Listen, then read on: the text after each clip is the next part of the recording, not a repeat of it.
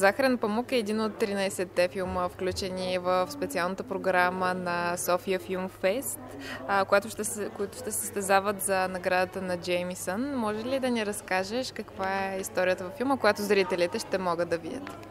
Като Захарен памук е късометажен филм, който заснех в края на миналата година в село и завършихме сега съвсем в началото на тази година. И това е една история, която, макар че се развива покрай река Хан в село, е история, която според мен ще намери своето място в сърцата на, на зрителите навсякъде по света, защото е една много искрена и много топла история за, за една жена, която търси себе си, търси начин да, да, да открие собственото си бъдеще, собствения си път в нелек, нелекото съвремие, в което живеем. 남자 여자가 다들 저렇게 사는 거지. 만나서 결혼하고 애 낳고 새빠지게 돈 벌어서 애 키우고 네 여동생처럼. 아니. 내 여동생은 그렇게 살겠지만 난 그렇게 못 살아.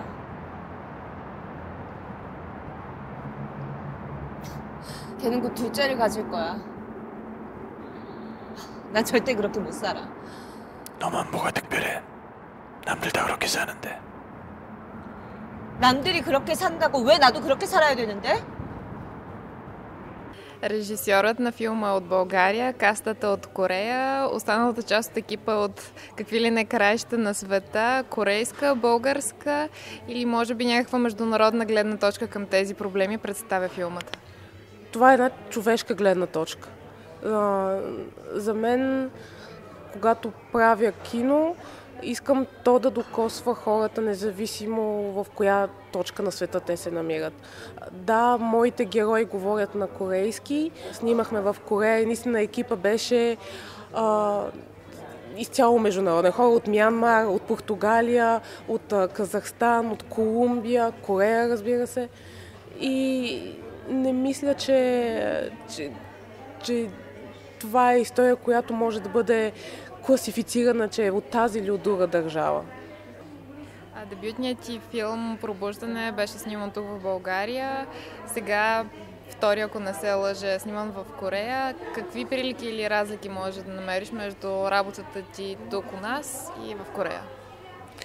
Uh, имах огромния късмет uh, за, само за няколко месеца да, да срещна страхотни хора и професионалисти в село. За това бих казала, че снимачният процес в село беше също толкова прекрасно изживяване, каквото беше и в България по време на снимките на пробуждане.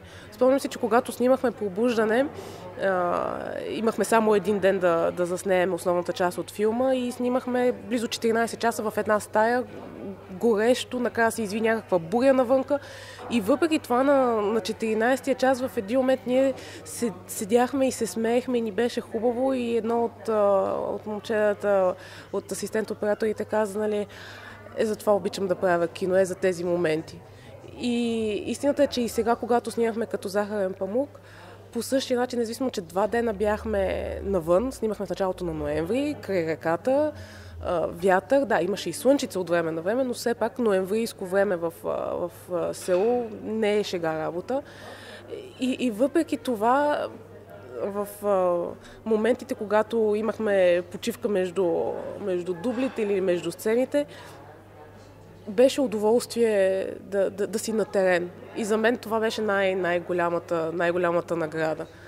А какво може да ни кажеш за опита ти с работата с корейските актьори и а, екипа, който разработи филма?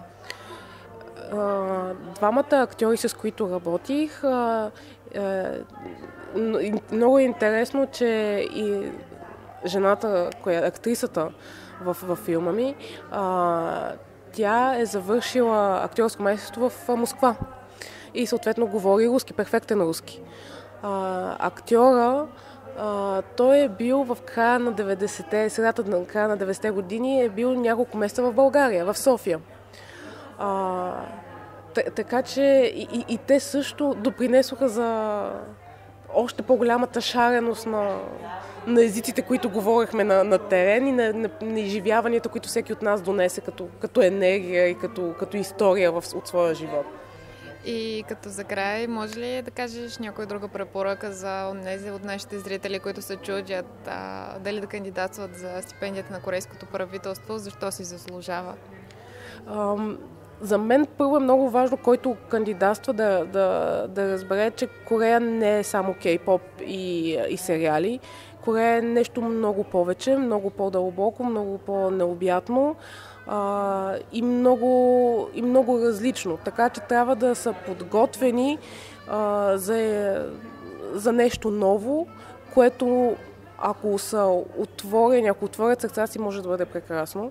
А, за мен е, това е една невероятна възможност да разшири човек мирогледа си да, и да открие в същото време много паралели между нас и тях и някакси ние да си повярваме, че, че в крайна сметка българин е, е един гражданин на света.